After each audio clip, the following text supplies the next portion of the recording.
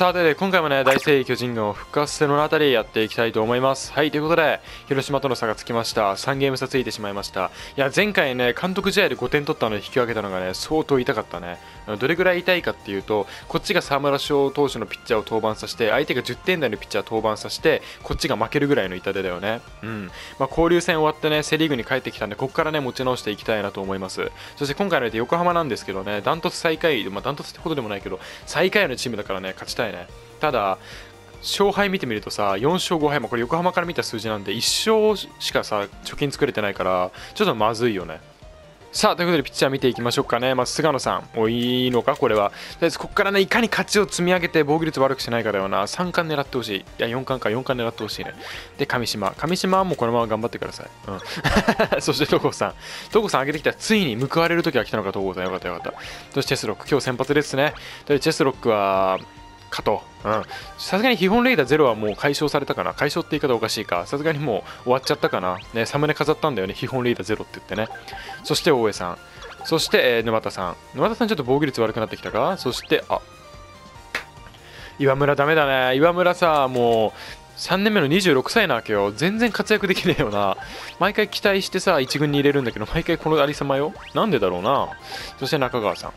さあということで打線見ていきますかね、まあ、鈴木誠也さん、さすがだね、本当チャンス F じゃなかったらもっとね4番に近いところ打たせるんだけど仕方ない、うん、チャンス F を持ってるからこそ1番で使ってて1番だからこそこの成績だと思うからいいことよね、そして直樹さん、ね、ホームラン全然増えないけど他は安定してるね、そして丸さん、うん、丸さん3番ってタイプじゃねえよな、だからチャーチルがね、チャーチルがちょっと、そして、えー、岡本さん、そして、えー、クレイグさん、あ。いつも通りだな。そして坂本さんですね。えー、そして若井君。そして山瀬さん。そろそろちょっと丸さん以外の選手使いたいね。さあ、ということでやっていきますかね。打線見てもらったら分かるんですけど、相当変えました。はい。あの、丸さん2軍に落として一回ちょっと疲労回復の意味を込めてね。うん。中島監督に一回激励してもらわなきゃ困るね、これはね。うん。で、クレイグ下げて秋広さんあげました。はい。そして豊福君ね。えー、去年のね、多分チャーチルが10失点したやつ、多分ね、三冠王 VS 能力指標最低っていうサムネがあったと思うのでその動画にでで初登場した子だよね、うん、この子にちょっとねパワーヒッターとさチャンスメーカー持ちでしょで弾道さんでしょ期待したいなと。そろそろ結果残せるんじゃないかなとね3年目なんで、はい。まあ、この2人に期待だね。若手のね4年目の秋広さんと3年目の豊福この2人が打たないとちょっと厳しいこのオーダーでは。正直キャップも厳しいからな。大丈夫か？さあということでね雨だね。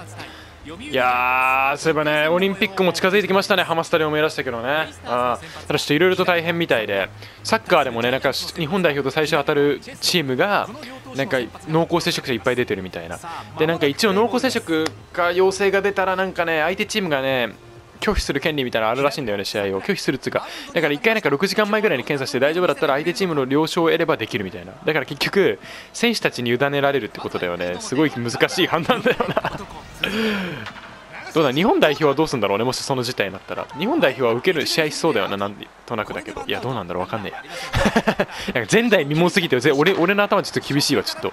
ね。で野球でもさどっかの代表がコロナ陽性になったらしくてさちょっと大変だよね本当に。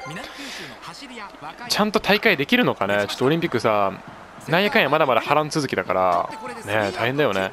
さあチェスロックですね、えー、基本リーダーは何になったんでしょうか？3かさすがにもうでも3交流戦割で3はまあ優秀じゃない？ずっとローテ守ってるんでしょでまた1番宮崎さんなりすれば、うんえー、あのどうな交流戦終わりにさ基本リーダーさんって優秀なのかな？ちょそこ気になるよねチェスロック頼むぞ。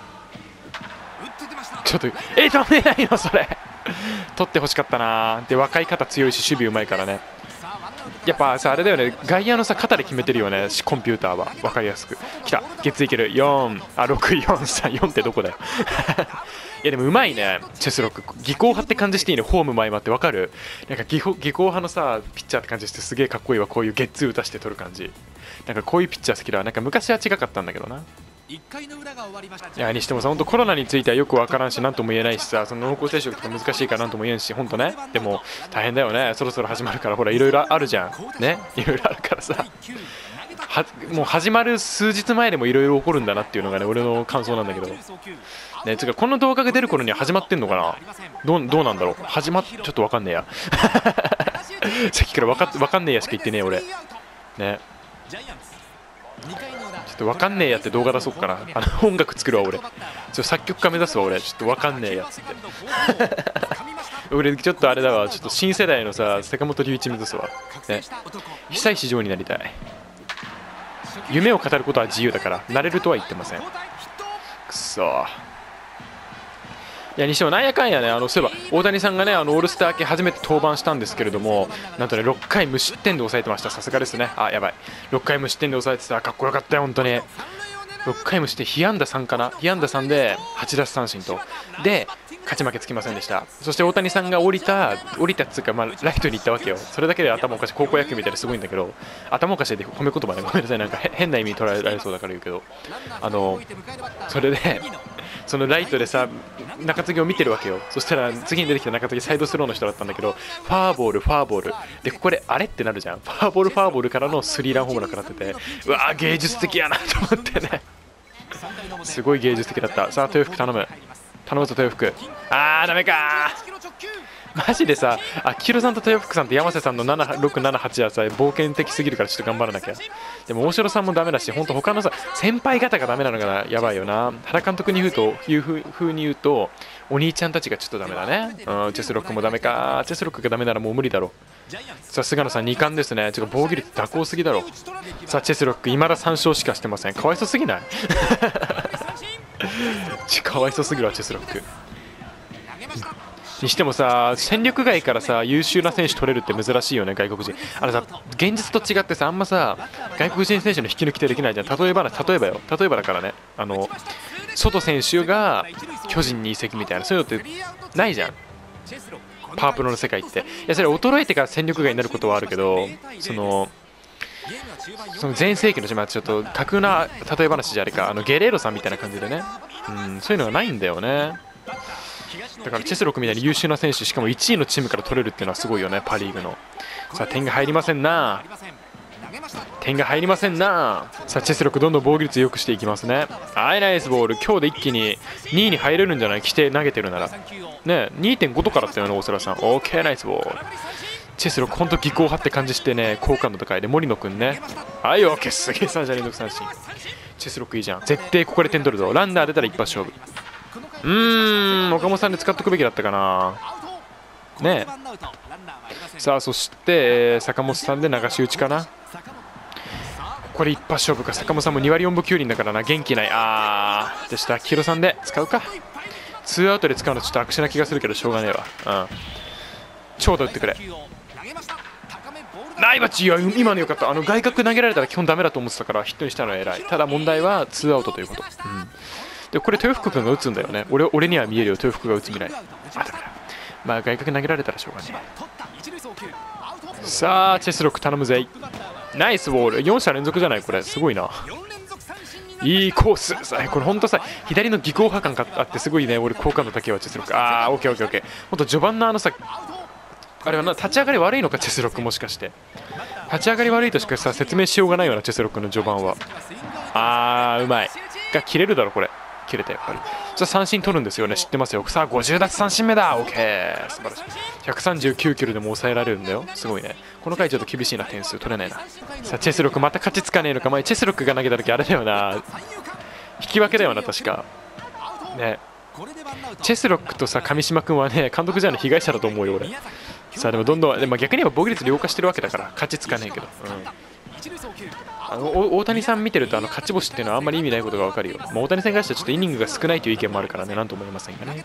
はい OK です。ナイスさあチェスロックどこまで投げる。もう、ま、打席回ってくるまで投げてほしいってことは9回まで行くな。だって8回か。あれだし表だしこっちが。だってチェスロックまで回らないでしょ次の回。おいおいおいおい。もう味方敵は味方にもいるっぽいな。やばいな。チェスロック頑張れ。OK もうこの打たせて取るんだよ。もう技巧がまさにもうな素晴らしい。もうこのパープルでこんな芸術的ピッチングが見れると思わなかったわ。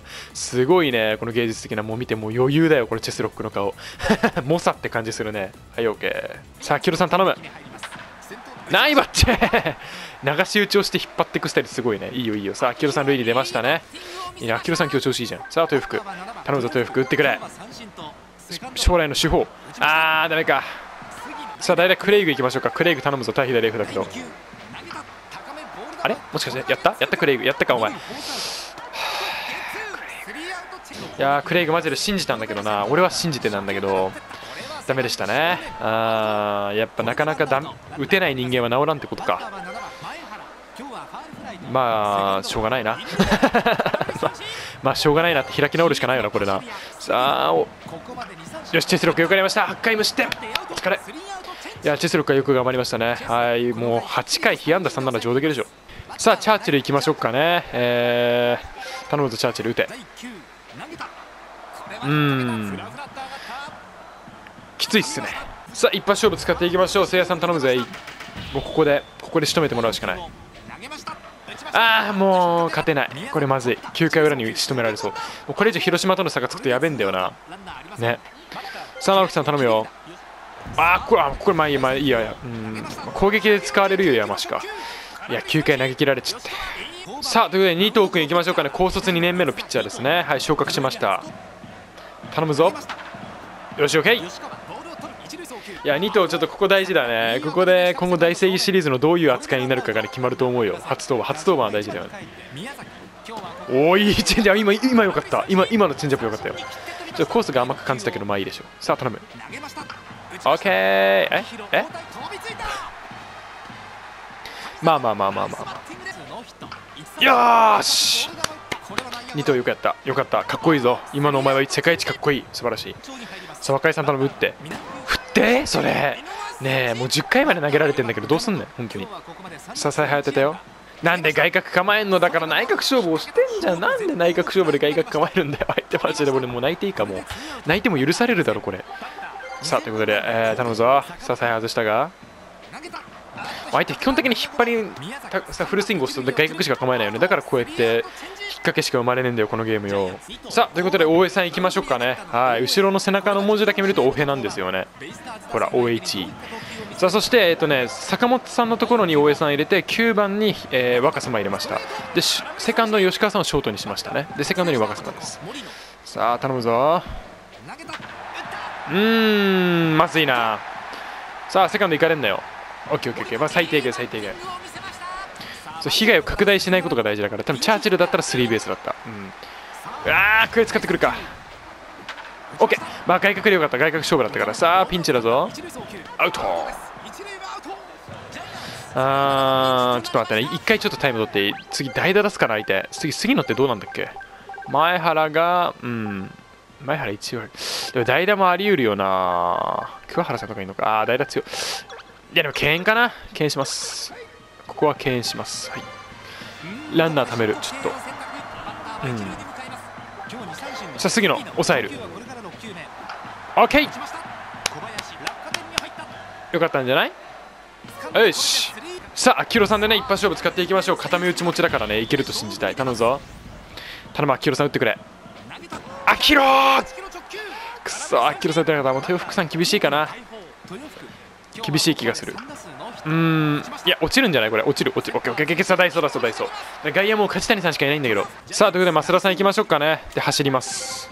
はい。やばい。まずいでも。よーし危ねえ。戸柱さんあんま肩強くなかったかな？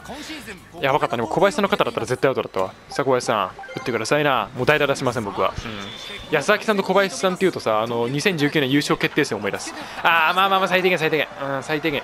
このゲーム本当最低限できないからな。ノーアウト2塁で引っ張り押すとさなぜか知らないんだけどなあの詰まってフライになるかあのショートサード側に打つからねこのゲーム。フルスイングターン。ああもう采配当てたのにさ。さあ先頭バッターで一発勝負使ってくる相手三島さんで安明さん三島さんとね圧倒的なピッチャー陣続くんだけど打ってくれると信じるせいやさんは。素晴らしい。よし。よし。オッケーオッケーオッケー。素晴らしい。ようやく一発勝負だ。よしや神ってるわ。神ってる。これは神ってると言っても許される。よしようやく1点入ったな。